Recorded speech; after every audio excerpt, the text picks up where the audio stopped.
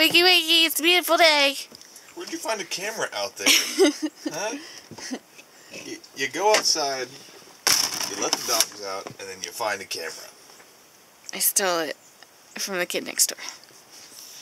Well, he doesn't need it. Good morning, friends. Hmm. Good morning. Today is Saturday, and we have a fun-filled day planned. First of all, we're going to start off the day with the workout, because that's the most fun way to start your day. No! None of these are truths. it's a way to start your day. Um, so we're gonna do that, and then my nephew is turning seven. Eight? Twelve? Seven. Yeah, he's like seven. He's got a birthday party today, so we're gonna go to that. So we're gonna hit that up hard. awesome. So I thought we could take you guys along. Go Taco Deli. Tacos, you like tacos. I don't like tacos. Not, I, not so much the taco. I want the sauce. There's The tacos sauce. are good too. The tacos are really good. Hi. Why'd you focus in on my muscle? You looked washed out. All right, so You look glitched we're gonna get the workout started, and then we will see y'all very shortly.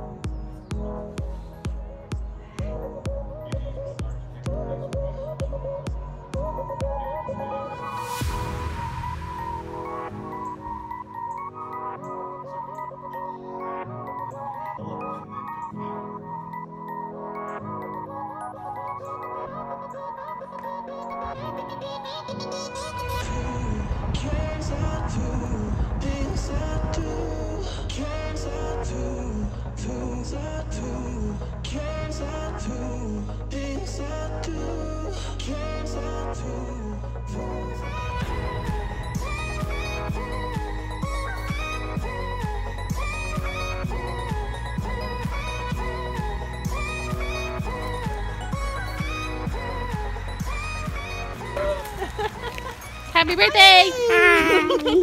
Happy birthday! Hi, Hi, Agent. Whose, birth- whose birthday is it? What are you? Are you four? You're four. Four? I'm gonna be seven. No. Seven. That's that's practically a grown up. Oh, Ninja Turtle. Oh. How cool is this? Oh my gosh. Uh, let's just stick this stuff People up. can wear that.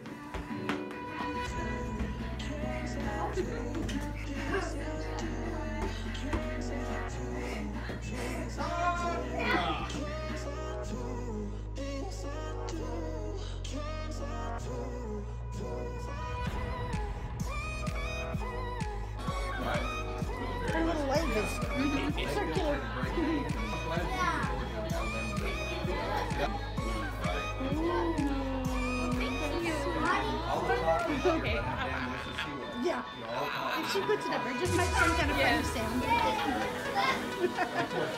Tell me. So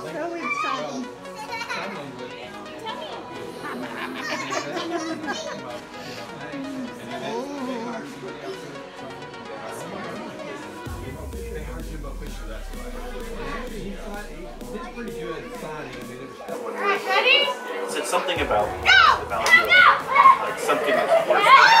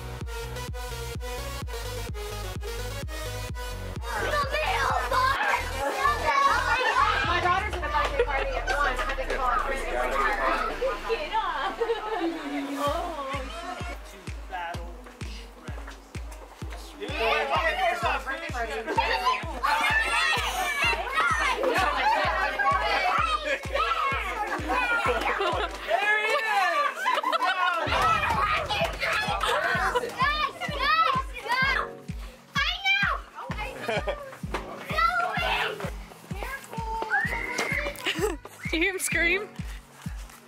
Did he find it? What is it? Go take it back to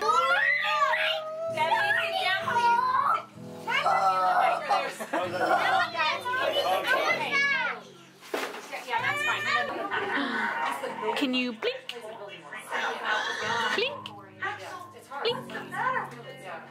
Oh my gosh. what you get, actually. Providing good times and now being punished for it. You scared us half to death.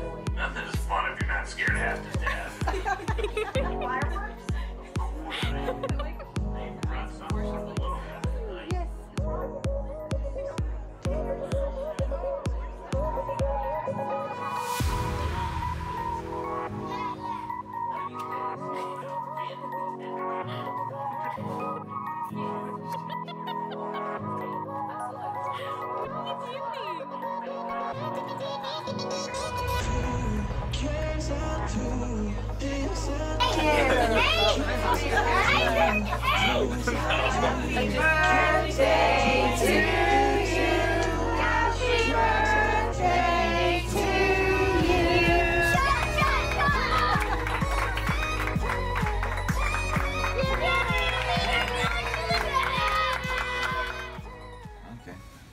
So yeah, I just wanted to kind of quickly go over uh, everything that we did for the freeze. Uh, obviously, we had another freeze here in Texas. Uh, these cold fronts keep rolling in, and so uh, we're getting a lot more confident, I guess, with everything that we do. Uh, so we don't actually unhook the water or anything like that.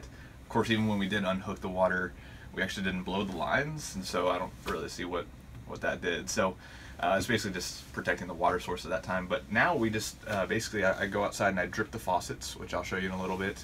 Uh, but a big thing is actually right up here. So one thing is we have our tank heaters, and our tank heaters will actually keep uh, the like they're basically like heating pads for your tanks. They just kind of slap onto the bottom of them. Uh, you do have to give them, I guess, installed, but uh, they take care of your you know your gray, your black, and I think your fresh uh, if you don't use the city water. So it'd be the fresh water tank. Um, but we don't ever use that one. That one's completely dry, I'm pretty sure. Uh, and then uh, basically from there, we just try to heat the cabin as much as possible. Uh, but the thing is, we we're, we're not big on propane. We just we just don't get it. Um, obviously, if we did, it would be it'd be nicer. But what we do is actually right behind me. This uh, was it NewAir? Mm-hmm. Yeah, NewAir um, heater. And so that thing actually heats the thing really nice. It takes about 30 minutes to heat up, but Keeps it super once it's toasty. there, you can actually throw it throw that thing on eco, and it cycles between low and high depending on uh, what temperature it is. And so uh, it keeps everything really nice, uh, nice and warm. Uh, the boys are fine. Of course, they still jump into bed every once in a while. Oh, he's in his little crate. But then uh, another thing that you can do, uh, we haven't actually done it for this freeze, but you can open up the, um, I guess the cabinets uh, that lead to some of the tanks down there. Uh, but those tanks down there, um, the ones that are underneath the sink in the bathroom, that's really the hot water heater, you know, that, that tank. And so it really doesn't need to be, like it's already insulated, so that one should be fine. Uh, but some people were telling us to do that, open up the cabinets. Uh, but what I'll do is I'll just show you kind of where we drip from. Uh, but pretty much as long as you have water flowing through kind of nice, then you're fine. So basically just uh, pay attention to the weather. That's about it. And we actually realized that that first time, and I know a lot of you guys that have been through some freezes, um, we realized it's really not that huge of a deal. Um, and it doesn't stay super, super cold here. Now, if you're in a place where it's, you know, under 20 or 10 consistently, it you have to take a lot more precautions, but I think we did just fine. So uh, I got a kayak for Christmas, but this actually came in handy because uh, the wind's coming from the north, which is actually this direction exactly. Uh, yeah, that, that's the north. and so uh, basically this blocks the wind. Uh, it keeps the possibility of freezing at a lower uh, percentage too as well. So uh, the tanks are right behind this, and so it just keeps that wind from going underneath it. We got a leak. So Yep. uh, basically, I just turn the uh, the cold on, and so I just don't want to turn the heat on just because it's actually pulling from the hot water heater and just making that work more. So, yeah, have a drip. So we're hoping that this is the last big freeze, um, I just don't, just over this weather.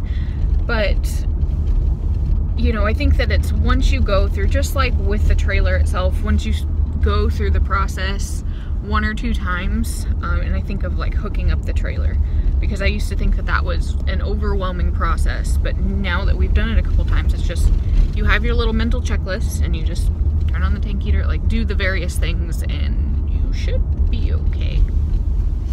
It's not a guarantee, but yeah, it's uh, more than likely you should be fine.